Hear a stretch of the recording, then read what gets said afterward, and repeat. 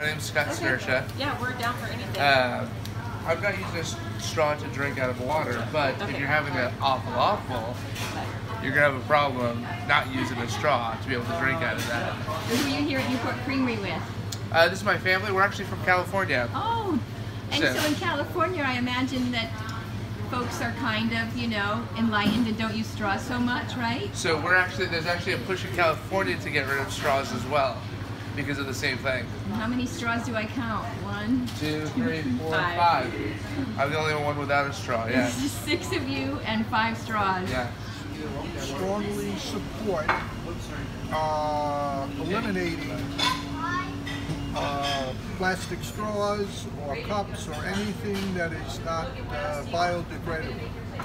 As a matter of fact, my favorite pub in Kinsale, Ireland, the White House, has recently posted on Facebook that they have used, they are now uh, not using plastic in their take takeaway containers, their, their cups or straws. Okay. And that comes from What are you having? A, ch- a chocolate awful awful? uh, frap, chocolate and, frap. And, yeah. and are you able to? You're okay without a straw drinking that? I prefer it without a straw, yes. Okay. Thank you so much. Would you like to be into no, I'm okay. No, Thank you. okay. Enjoy your I think frap. one, two is enough. Thank you. There you go.